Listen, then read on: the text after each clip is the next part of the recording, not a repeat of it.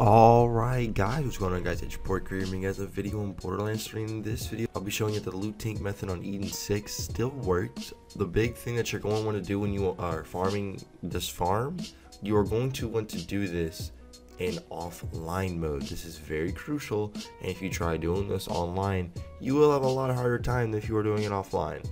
So make sure, before you even load it the game, I would recommend turning your stuff offline entirely. So you're just playing offline. I know on console sometimes you'll get a few error codes, but believe me, I haven't too. It still works. You just have to give it a few tries, and sure enough, the game will start up for you if you're having that problem. With that all being said, guys, once you spawn here in the Jacobs Estate, you're going to want to take the same route that I'm taking right here.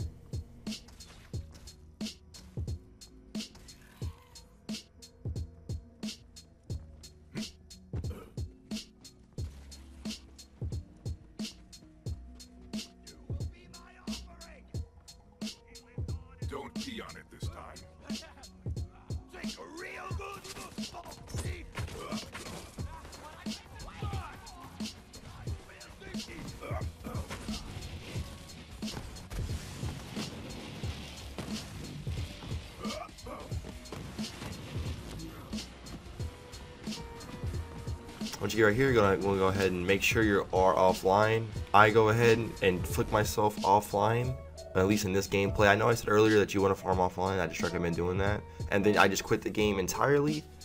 And then once you quit the game entirely and load back in, you should have a loot tink spawn for you and you should be able to keep uh, doing this rinse and repeat. That's what I was able to do for a good uh, few runs. But with that being said, guys, hope you guys did enjoy the video. My name's Kree, and I will see y'all for the outro. Peace out. Oh, I think I got him. Oh my god, come on. What is that? Hey, little bitch.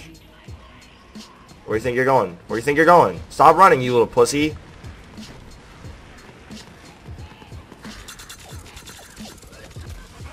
Gotta die, you gotta die.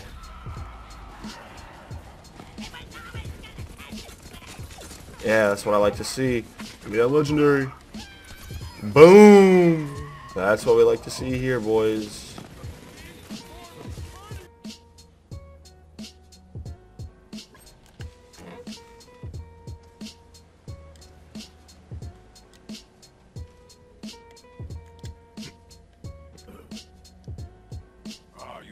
Something for me?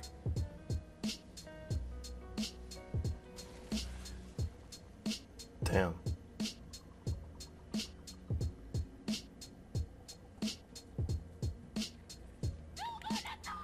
Got him. Stop moving. You are very annoying.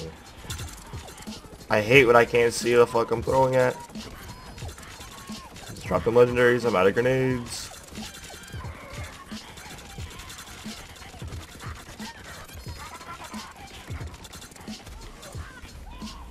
Oh, pick my ass back up. Alright, I'm just gonna use this just to look at what I got here. Ooh, got that this. So yeah guys, uh, farming this guy on uh, offline mode is still a very efficient way to farm legendaries and stuff. It's not nearly as OP as it was earlier pre-patch due to the Mayhem mode itself getting nerfed. This was all played in Mayhem 3 by the way. Um, hope you guys did enjoy this little video updating you guys on like the loot tink farm and everything pre-patch, I mean post-patch. Without me to goes guys, my name's Kree, hope you guys did enjoy. I will see y'all in the next one. Peace out.